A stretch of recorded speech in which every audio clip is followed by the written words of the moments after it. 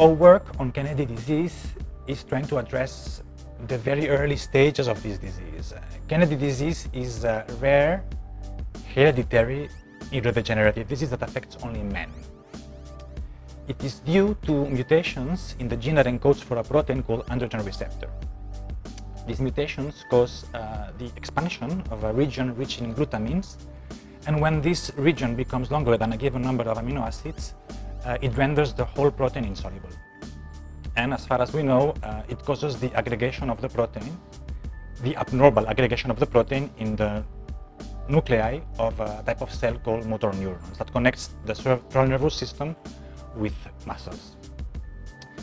And um, very little is known about what is the sequence of events that leads to aggregation. And the goal of the project is to try to understand, in as much as we can, this detailed mechanism, both in vitro, in the lab, and also in vivo, in uh, Drosophila. This is a very uh, nice collaboration between three different groups uh, that we coordinate with funding from Maratona TV3. The groups involved are my own group, then a group at an institute in Barcelona called IBUB, Institut de Biomedicina de la de Barcelona, that is led by Eva Estebanez Perpiña, who is uh, actually expert in the structure and interactions of this protein uh, androgen receptor in the context of prostate cancer. There's another group involved that is at the University of Cambridge, led by uh, the researcher Leila Luheshi, whom I used to work with when I was in Cambridge, that uh, is also part of the project. And her role is to actually uh, develop, hopefully develop the phenotype of the disease in Drosophila. So we can actually validate the findings that we have in the lab, in vitro, also in vivo. It's a very, uh, it's a very promising approach to try to understand uh, the mechanism of several neurodegenerative diseases. And uh, basically, there are three reasons why we're doing this. The first one is that all these complex motions of domains relative to one another are, are, very challenging to characterize. But in the last few years, there have been many developments in actually in the development of methodologies to allow to make to make this possible, including some work of our own. In addition to that, uh, even though protein aggregation is a very complex phenomenon, recent work in the last, say, 10 years has allowed us, many groups, including some work of ours, to understand the basic principles that leads that, that makes protein aggregate. And uh, we think now the field is mature enough for us to start looking at specific complex diseases. And the third reason is that uh, this disease, Kennedy disease, is part of a family of diseases, all involving this expansion of the glutamine tracts in uh, proteins. The most famous one, or the best understood, being Huntington's disease. And they have, in the last months, I would say, year, even after we published, uh, we submitted our application to the Marathon, there have been quite interesting biophysical work that has provided us with a very interesting hypothesis as to why aggregation in, in Kennedy disease occurs. So uh, I think it is particularly exciting time to start to address uh, SBMA, which is the technical word for uh, Kennedy disease.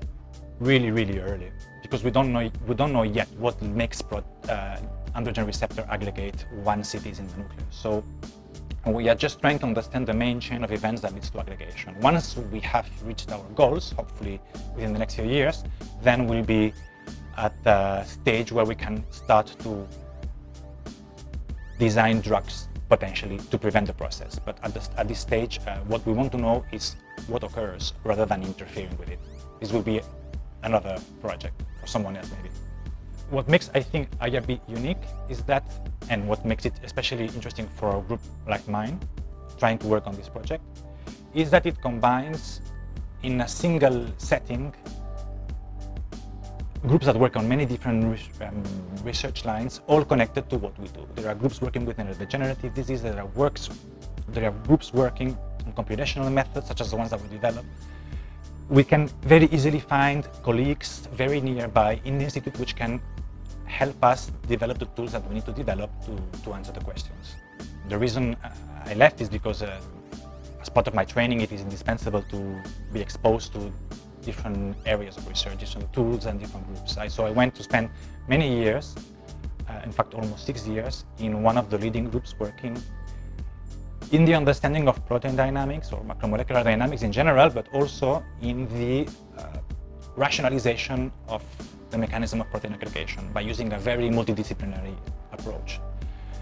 I learned a lot there. Um, I didn't know what I would do with my career, but then uh, I realized that while I had been away, there had been a, a, very profound transformation of the research system in Catalonia that made it possible for young scientists such as myself, not extremely experienced, to become independent and to be to be well funded in centers of excellence which have the critical mass that is necessary to make a difference at an international level.